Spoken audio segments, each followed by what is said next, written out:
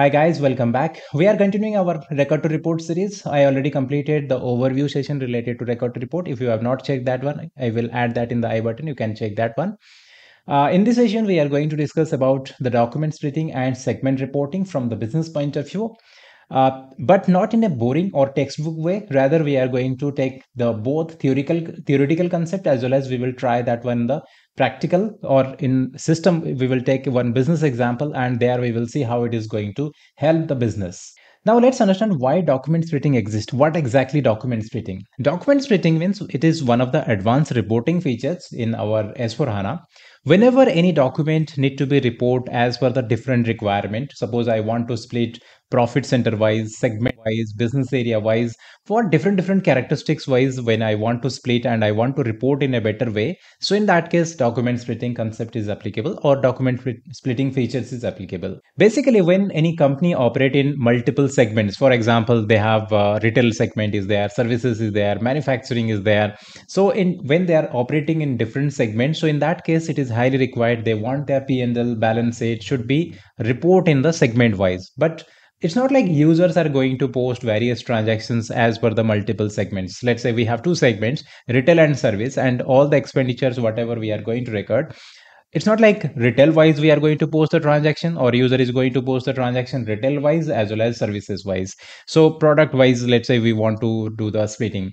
So user is not going to do anything. User is just going to put the data or user is going to add the data in the system as it is but because of this document splitting features or because of this particular functionalities, we want the splitting, we want the documents in the better way or the reporting in the better way. In the standard system, when we are going to post any vendor invoice with multiple cost centers, then in that case, system is going to post a transaction in one or all the balances it is going to post at company code level. So transaction will be posted from the FI. So let's say we uh, use the transaction code here AB50. There we have selected the vendor and we have entered here multiple profit centers, multiple cost centers. So it is cost, obviously it will be recorded with the cost center.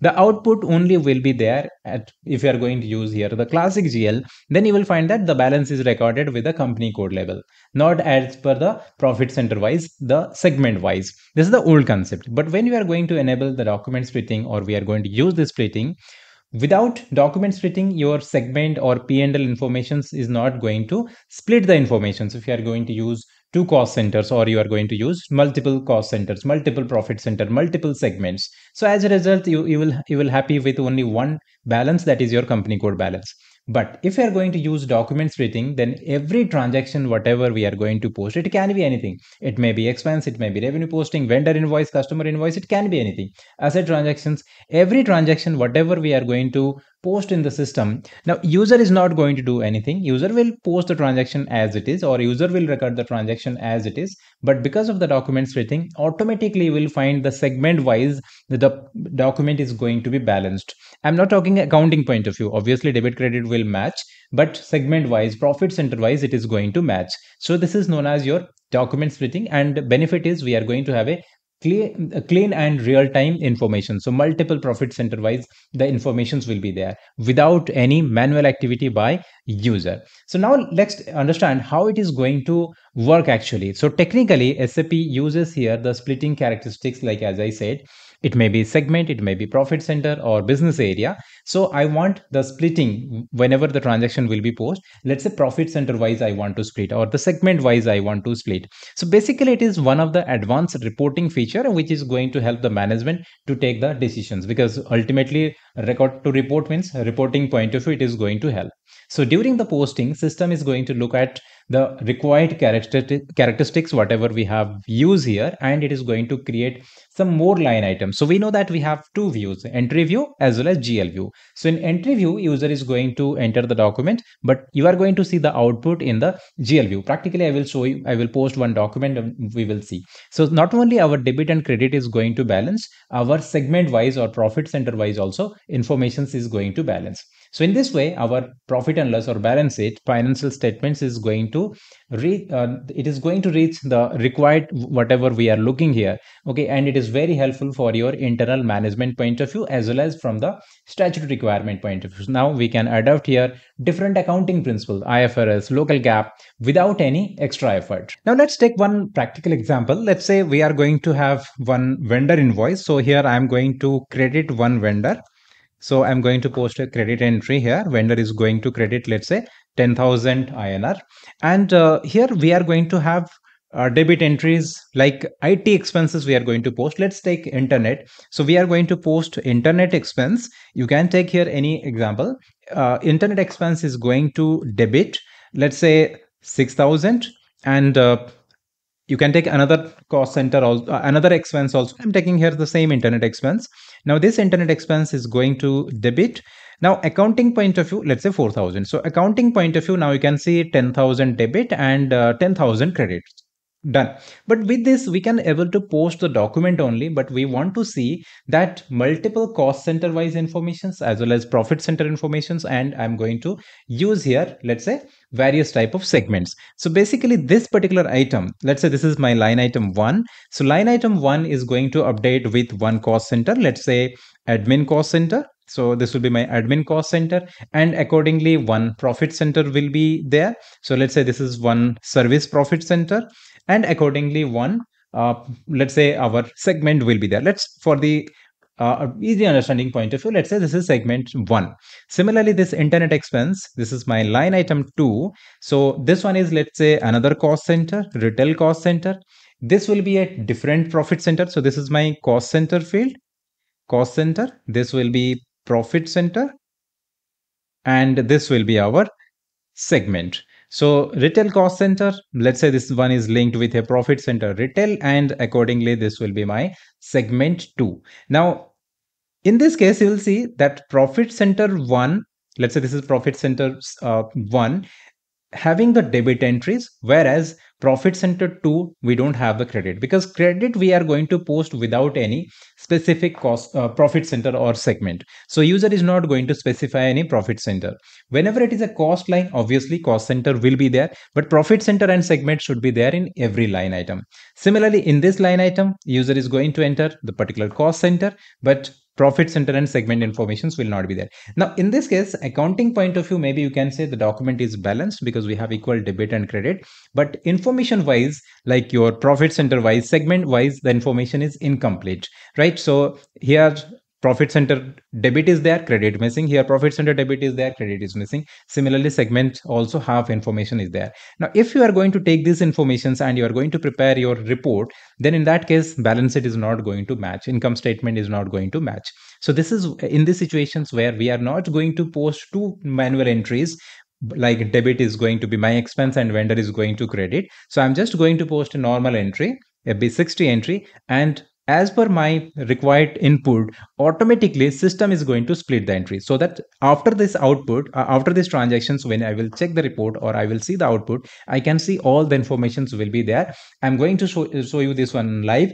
so that you can see once i will post the document you will see the output that whatever i'm looking here exactly it is going to be there. So that means this 10000 also need to be split plus wherever the entries are required or whatever the balancing information is required it is going to be posted automatically so this is the beauty of your document splitting functionalities so i'm going to post one document and here i will take the expense as my internet cost means this particular gl account 3001 and i'm going to post a customer uh, sorry supplier entry so I will go to FB60 or I will go to uh, financial accounting, accounts payable. So this will be a non-PO vendor invoice. So document entry and I'm going to select here. So I will select here uh, the supplier. So I'm going to select this particular supplier and let's take the date, whatever it is there. And uh, the invoice amount will be 10,000. Let's ignore the tax amount.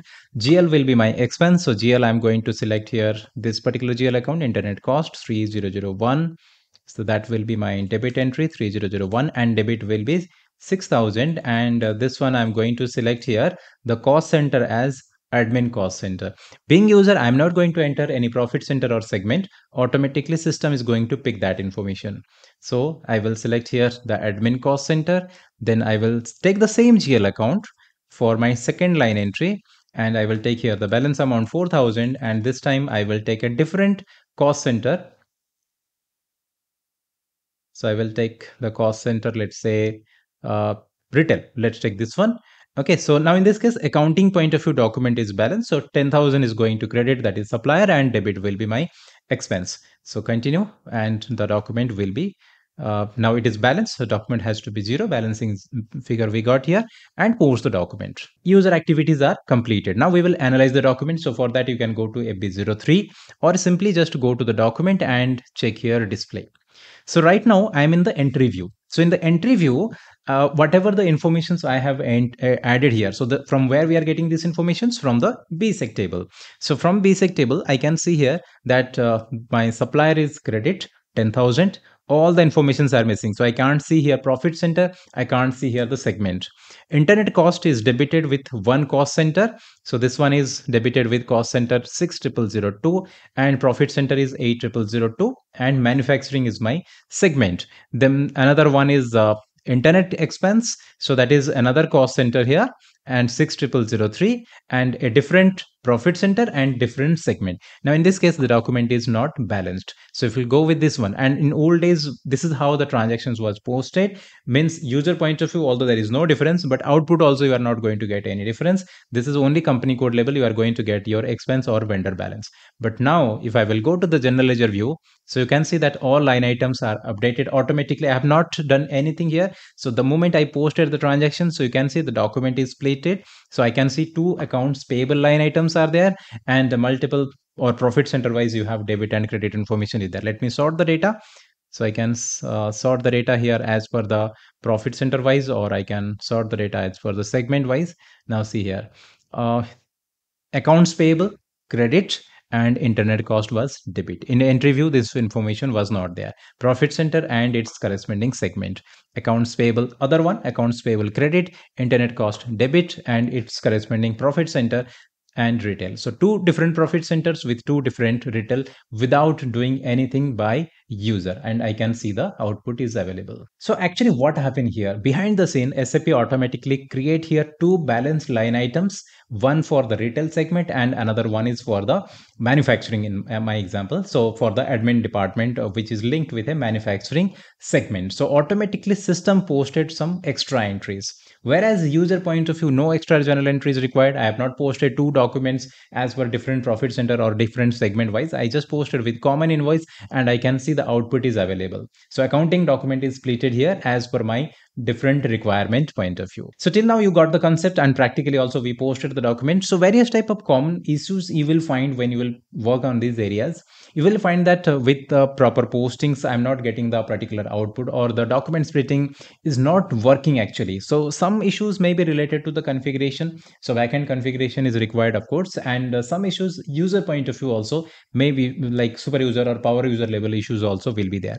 So because document splitting is completely rely on or heavily rather I would say that rely on the master data segment because here in the backend I already linked the cost center with the profit center. So if you check the cost center video, so there I have linked the profit centers with my cost center. So profit center is also linked with my segment so that's why if this hierarchy is not maintained if this connection is missing then obviously when we will post the transaction it will not work or the re required gl account is not going to update so master data in updation is highly required. So somewhere you will find zero balance also going to be updated. In this example zero balance is not applicable. In another scenario i will show you. So when system is not going to able to balance the document system is going to add couple of line items to make the document balanced during the posting. Means the user is not going to do anything. Output you are going to see that zero balance will be applicable. So there are three type of splittings available active splitting passive splitting and zero balance splitting. This is active splitting only. Sometimes you will find active splitting with zero balance sometimes you will find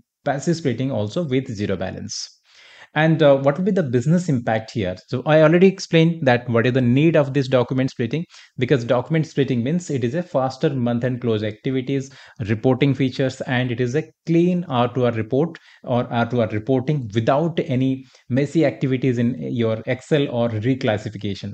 Business users are going to just post the transactions as it is without doing anything. In fact, business users, they don't know what is this one. But when they will see the output, you can see automatically the information informations will be there as per my required characteristics. So document splitting is a common tool which will be applicable in multiple areas in different different transactions. So in future, whatever the document I will post, whether it is R2R, P2P, O2C, everywhere you will find that the splitting functionalities will be applicable, right? So one, whenever it will come, I will keep highlighting, but the document splitting will be there in all type of documents.